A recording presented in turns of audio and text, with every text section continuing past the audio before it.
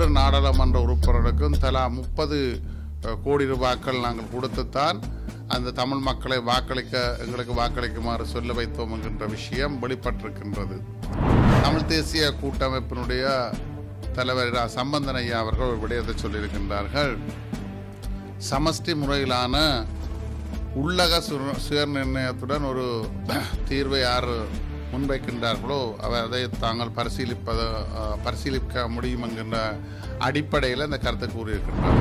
தங்களுடைய சுயநலம் சார்ந்ததாக இருக்கிறது தம் தவிர தமிழ் மக்களுடைய அரசியல் உரிமை பிரச்சனை அன்றாட பிரச்சனை அல்லது எங்களுடைய நீடித்து போன இனப்பிரச்சனைக்கான ஒரு தீர்வை நோக்கிய நகர்வதற்கான ஒரு அடித்தளம் எதுவும் அவருடன் காணப்படவில்லை.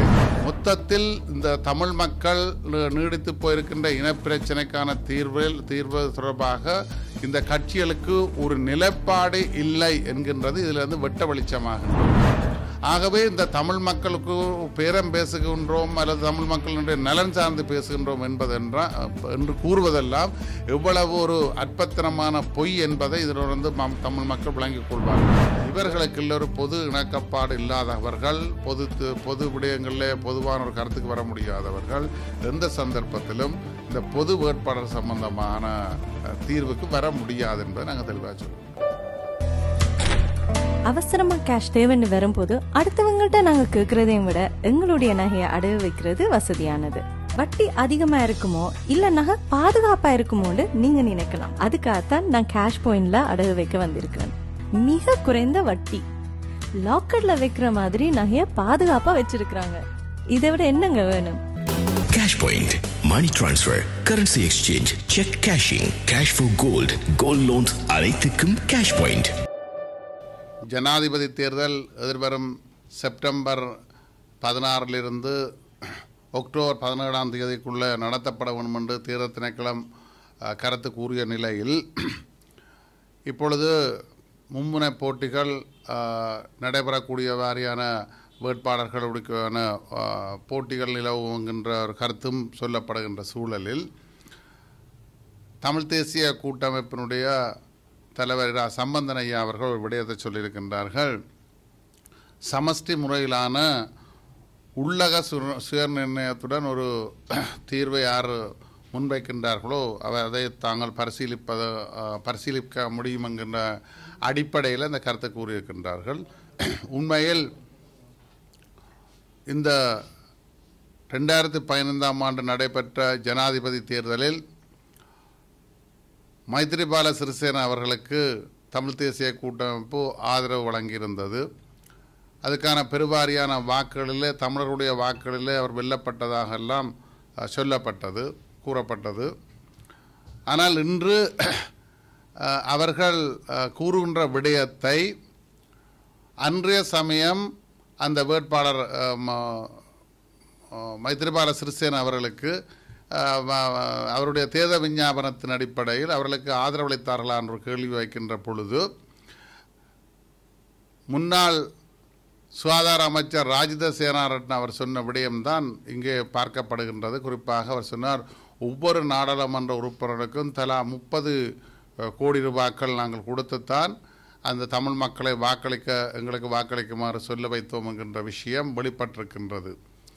ஆகவே இன்றும் இந்த இவர்கள் இவ்வாறான கருத்துக்களை கூற முனைவதும் வந்து தங்களுடைய சுயநலம் சார்ந்ததாக இருக்கின்றது தம் தவிர தமிழ் மக்களுடைய அரசியல் உரிமை பிரச்சனை அன்றாட பிரச்சனை அல்லது எங்களுடைய நீடித்து போன இனப்பிரச்சனைக்கான ஒரு தீர்வை நோக்கிய நகர்வதற்கான ஒரு அடித்தளம் எதுவும் அவருடன் காணப்படவில்லை. இப்பொழுது சொல்கின்றார்கள் தேர்தல் விஞ்ஞாபனங்களை போட்டியிடுகின்ற வேட்பாளர்கள் வெளியிட்டதன் பின்னர் தான் நாங்கள் எங்களுடைய கருத்துக்களை நாங்கள் முன்வைக்க முடியும் என்கின்ற கருத்தையும். அதே போன்று திரு சுமந்திரன் அவர்கள் ஒரு கருத்தை கூறியிருந்தார்கள். கடந்த ஒன்பதாம் தேதி சிவில் அமைப்புகள் இணையவர்களுடன் பொது வேட்பாளர் சம்பந்தமாக தமிழ் பொது வேட்பாளர் சம்பந்தமான ஒரு கலந்துரையாடலில் துரோகி என்கின்ற பட்டம் சூட்டி விடுவார்கின்ற காரணத்துக்காக நான் ஒரு நாங்கள் ஒரு பொழுதும் அதாவது தமிழரசு கட்சியின் சார்பிலே தான் அதனுடைய பதில் பொதுச் செயலாளர் சத்தியலிங்கம் அவர்களும் உடைய இதில் தான் நடைபெறும் என்கின்ற அவர்களை விளம்பரப்படுத்தியிருந்தார்கள். ஆகவே அங்கு நடந்த கூட்டங்களிலே அவர்கள் எடுத்த முடிவு பொது வேட்பாளர் என்கிற விடயத்திலே துரோகி என்ற பட்டத்திற்காக நாங்கள் எங்களுடைய நிலப்பாட்டை விட முடியாது. சிவில் அமைப்புகள் மக்களால் தெரிவு செய்யப்பட்ட பிரதிநிதிகள் அல்ல. ஆகவே அவர்கள் தமிழ் மக்களுடைய அரசியல் நிலப்பாடு சம்பந்தமாக முடிவெடுக்க முடியாதவர்கள். மக்கள் பிரதிநிதியாக நாங்கள்லாம் அதுக்கு முடிவெடுக்க முடியும் என்கின்ற கருத்தையும் மு- முன்வைத்திருந்தார்கள்.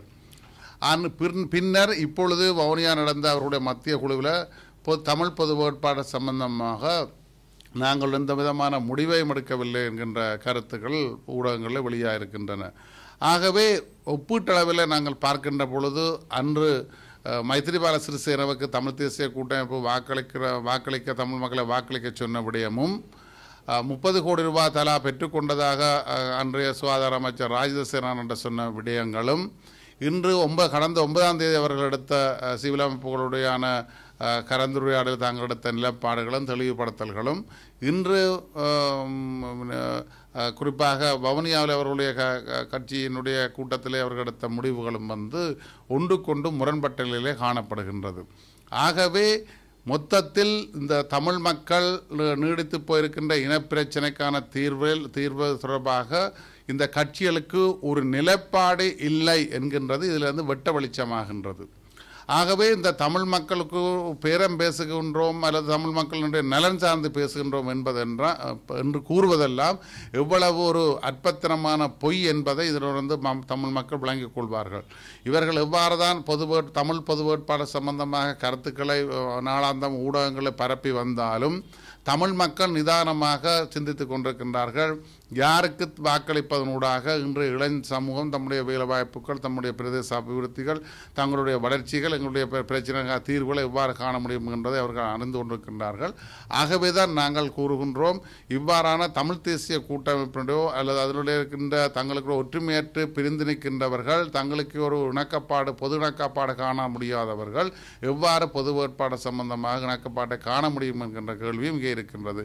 ஆகவே இந்த ஏமாற்றத்தை மக்கள் தெரிந்து கொள்ள வேண்டும் என்பதுதான் எங்களுடைய நிலப்பாடாக இருக்கின்றது. கூட்டம் போட்டுட்டினான் என்ன வந்து அந்த பொது வேட்பாளர்ன்றதை யாருன்றதை இவ அறிவிக்காம இருக்கணும் அதே நேரத்தில் இப்போ இவ இப்படி அந்த கூட்டம் போடுறதும் இந்த பொது வேட்பாளர் இந்த முடிவு எட்டப்படாமல் இருக்கிறதும் வந்து இப்போ இவேண்டிய ஒரு என்ன சொல்ற வீக்னஸ் தான் அப்படின்ற விஷயத்தில் சொன்னீங்கன்னா நீங்கள் ரணில் சொன்ன கதையும் கோட் பண்ணி. ரணில் முடிவெடுக்கையில வந்து ஏற்கனவே யோசிச்சு சொன்னவர். இங்கே வந்து அந்த விஷயத்தை சொன்னது போடுறோம். ஆஹ் இப்போ தமிழ் பொது ஜனாதிபதி பொது தமிழ் போர் வேட்பாளர் தொடர்பிலே கிட்டத்தட்ட ஒரு ஆறு ஏழு கூட்டங்களுக்கு நடைபெற்றிருக்கின்றது. அதாவது வட மாநிலத்தில் கிழக்கு மாநிலத்திலையும் இந்த கூட்டம் இடம்பெற்றது. ஆனால் இதுவரைக்கும் இன்னும் பொது வேட்பாளர் யார் என்ற பெயர் வந்து இன்னும் வெட்டப்படாத நிலையிலே இந்த கூட்டம் இடம்பெற்று கொண்டிருக்கிறது. இந்த இந்த விடயத்தை நீங்கள பார்ப்பாங்க. இது தொடர்பாக சமீபத்தில் முன்னாள் வடக்கு மாகாண சபையினுடைய ஒரு அமைச்சராக இருந்தவரும் ஒரு பெண் அமைச்சர் சொல்லியிருந்தார் தான் பொது வேட்பாளராக களமிறங்குவேன் என்று. அதே போன்று முன்னாள் மாகாண சபை உறுப்பினர் அவரும் திரு. சிவாஜிலிங்கம் அவர்களும் தான் பொது வேட்பாளராக க- களமிறங்குவதற்கு தயாராக இருக்கின்ற கருத்தை சொல்லியிருக்கின்றார்கள். இவர்களுடைய கருத்துக்களை யாரும் எள்ளளவும் ஏறெடுத்து கூட பார்க்காத சூழல் காணப்படுகின்றது. ஆயினும் ஜனாதிபதி அஹ், ரணில் அவர்கள் திரு சி வி விக்னேஸ்வரன் அவர்களை சந்தித்த சமயத்தில் மிக தெளிவாக சொல்லியிருக்கின்றார்கள். உங்களுக்குள்ள ஒற்றுமையின்மை இருக்கின்றது. ஒற்று ஒரு நிலத்த கர ஒரு ஒரு நிலைப்பாடான கருத்தில்லை. ஆகவே இந்த பொது வேட்பாளர் என்ற விடயத்தில் கட்சிகளுக்கும் ஒரு இணக்கப்பாடு இல்லை அதில் உங்களுடைய த வேட்பாளரை உங்களால் தேர்ந்தெடுக்க முடியாது என்கின்றதை அவர் தன்னுடைய அரசியல் அனுபவ சாணக்கியத்திலிருந்து அவர் மிக தெளிவாக ஜனாதிபதிகள் கூறியிருக்கின்றார்கள். அதுதான் உண்மை. அதே போன்றுதான் நாங்களும் எங்களுடைய நிலப்பாட்டை சொல்லி வருகின்றோம். இவர் இந்த க பொது வேட்பாளர் என்கின்றது பல கூட்டங்களை கூட்டியிருக்கின்றார்கள் பல சிவில் அமைப்புகள் என்றார்கள் பல்கலைக்கழக சமூகம் என்றெல்லாம் இணைக்கின்றோம் என்றால் சொன்னார்கள். இவ்வாறு தான் கடந்த தேர்தல்களிலேயும் அந்த பல்கலைக்கழக சமூகங்களை இணைத்துவிட்டு அந்த ஒப்பந்தங்கள் எல்லாம் தூக்கி வீசப்பட்ட சம்பவங்களும் நடக்கின்றது. அதிலே பின்னர் சொன்னார்கள் பாடசாலை க- கல்லூரியிலே சேர்ந்து குறிப்பிட்ட காலத்தில் இந்த சிறுவர்களுக்கு எவ்வாறு இந்த இந்த இவ்வாறான அரசியல் உரிமை பிரச்சனையில் தீர்வு காண்பதற்கு அல்லதுக்கு பதிவு சொல்ல பிறகு இவர்களுக்கு என்ன அனுபவம் இருக்கின்ற என்ற கேள்விகளும் தமிழ் தேசியம் பேசிய கட்சிகளினுடைய வாய்களிலிருந்து சொல்லப்பட்ட கருத்துக்களாக இருக்கின்றன. ஆகவே நாங்கள் மிக தெளிவாக சொல்கின்றோம். ஜனாதிபதி அவர்கள் சொன்னது போன்று எங்களுடைய கட்சியினுடைய செயலாளர் அகிலசேவானவர் சொல்கின்ற போன்று இவர்களுக்கு ஒரு பொது இணக்கப்பாடு இல்லாதவர்கள் பொது பொது விடயங்களில் பொதுவான ஒரு கருத்துக்கு வர முடியாதவர்கள் எந்த சந்தர்ப்பத்திலும் இந்த பொது வேட்பாளர் சம்பந்தமான தீர்வுக்கு வர முடியாது என்பதை நாங்கள் தெளிவாக சொல்லுவோம். சிஎம்ஆர் யூடியூப் சேனலில் இணைந்திருக்கும் நேர்கள் அனைவருக்கும் எமது நன்றி. காமெண்ட்ஸ் பகுதியில் உங்கள் கருத்துக்களை தெரிவிக்க தவறாதீர்கள். முக்கிய செய்திகள் காணொளி தொகுப்புகள் நேர்காணல் என பலதரப்பட்ட அம்சங்களையும் உங்களுக்காக தருகின்றது சிஎம்ஆர் யூடியூப் சேனல். சிஎம்ஆர் என்று சர்ச் செய்து எமது யூடியூப் சேனலை சப்ஸ்கிரைப் பண்ணுங்கள். உங்கள் உற்றார் உறவினர் நண்பர்களோடும் இந்த காணொளி தொகுப்புகளை பகிர்ந்து கொள்ளுங்கள். அருகில் இருக்கின்ற முக்கிய காணொளி தோப்புகளையும் தவறவிடாமல் பாருங்கள்.